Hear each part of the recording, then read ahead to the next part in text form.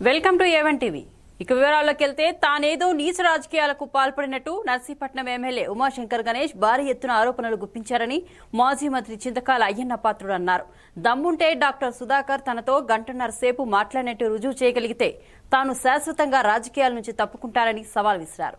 తానెప్పుడు చవకబారు రాజకీయాలు చేయలేదన్నారు అయ్యన్న పాత్రుడు. నేను ముఖ్యమంత్రి ఎప్పుడైనా సరే రోజుకు ఒకసారి చూసి మాట్లాడాలి కదా?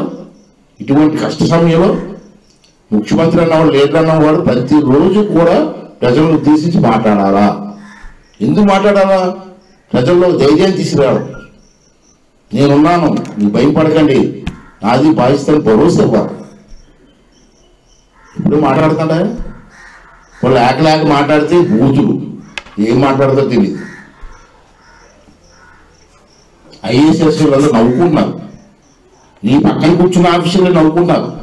బయటకు వచ్చి చెప్పుకుంటున్నారు అది పక్కనే ఉన్నాడే ఎవరు? తెలంగాణ ముఖ్యమంత్రి. ఎంత బాగా చెప్తున్నాడు రోజు రోజు ప్రెస్కి వెళ్తున్నాడు అతను. ప్రజల్లో ధైర్యం తీసుకొస్తున్నాడు. నేనున్నాను భయం భయపడకని చెప్తున్నాడు. యాక్షన్ తీసుకుంటున్నాడు. రోజుకి ఎన్ని కేసులు నమోదవుతున్నాయో పబ్లిక్గా చెప్తున్నాడు. ఎన్ని కేసులు ట్రీట్మెంట్ ఇస్తున్నావు పబ్లిక్ చెప్తున్నాడు. ఎంతమంది చచ్చిపోతున్నారో కూడా చెప్తున్నాడు. ప్రజలు తీసుకోవాల్సిన జాగ్రత్త గురించి ప్రజలనే మరి ఉత్తేజపడి నువ్వు తీసుకెళ్తున్నాడు నువ్వెందుకు చేయలేకపోతున్నావు? ఇవాళ రైతులు పంట చేతికి వస్తుంది. ఆ పంట ఎక్కడ అమ్ముకోవాలో ఎక్కడ దోసుకోవాలో రైతుకి అర్థం కాని పరిస్థితిలో ఉంది. ఇవాళ తెలంగాణ ముఖ్యమంత్రి ఆల్రెడీ ఆర్డర్స్ ఇచ్చాడు. రైతులు ఇంట్లో ఉన్న పంటలు అక్కడే కొనండి. ఎంత రేట్కైనా కొనండి. ప్రతి దాని గురించి కొనని చెప్తుంటే ఈ రోజుకి ఎప్పుడన్నా ఎప్పుడైనా ఇప్పుడు రైతు కళ్ళాల్లో వరి ధాన్యం కానీ టమాటాలు కానీ కాయగూరలు అన్నీ అలా పడి ఉన్నాయి.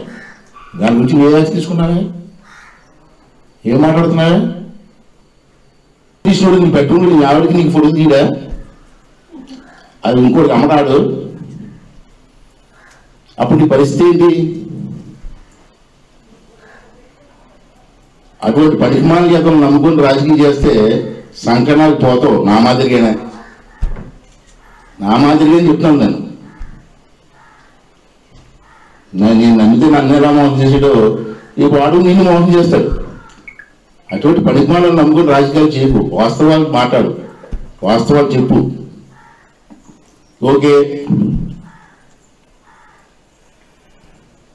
డాక్టర్ గారి గురించి మాట్లాడుతున్నారు. మీ హెల్త్ మినిస్టర్ గారు పేరు నాయన ఏనాడు నాని. నేను మాట్లాడతాడు. ఏం తెలిసి మాట్లాడతాడు నర్సీపట్నం గురించి?